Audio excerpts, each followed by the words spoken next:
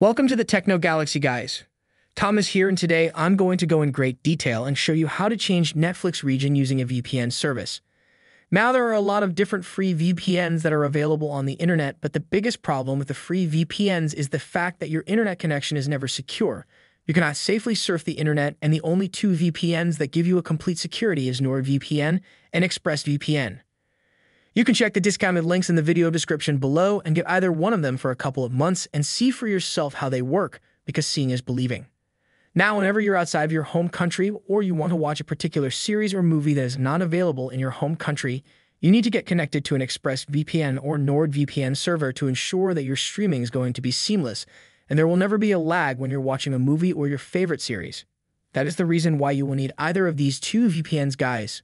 So when you're on Netflix and you're going to get connected to a particular country, all you need to do is search which particular country you want to get connected to. Now, if you're using NordVPN, you can easily find the place that you want to get connected to. If you want to get connected in the UK, in the US, in Canada, Australia, or in South America, or even in South Africa, or the Middle East, or in Asia, you can simply scroll and get connected to any of the servers that are available in those particular areas. If you want to use ExpressVPN, then all you need to do is select these three buttons over here, and you'll get a complete breakdown all the recommended locations. And if you click on all location, you can check where you want to get connected to. If it's going to be in Asia Pacific, you can get connected to a server in Singapore, Japan, Australia, Philippines, Malaysia, Sri Lanka, or even Indonesia. It's as easy and simple as that, so let's get connected to a location in the US. Once you click on the button, it's going to take a couple of seconds and it's going to get connected. Now we're connected by ExpressVPN to a server in New York and USA, and once we refresh our page for Netflix, you'll be able to see all the shows and movies that are available in the US.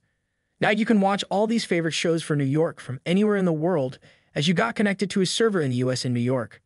It is as simple and straightforward as that. So after watching this video, if you want to try ExpressVPN or NordVPN, I have included discounted links for both in the video description below, so you can get either of them at a discounted price for a couple of months and see for yourself because like I said before, seeing is believing, guys. So that's it for today's video, guys. If you enjoyed watching this video, please leave a thumbs up on the video. And if you are new to the channel, please consider subscribing to us. Stay updated with content just like this. If you have any questions, guys, please do let us know in the comment section below, and I'll be more than happy to assist you. I will see you guys in the next video. Until then, please take care and stay safe, everyone.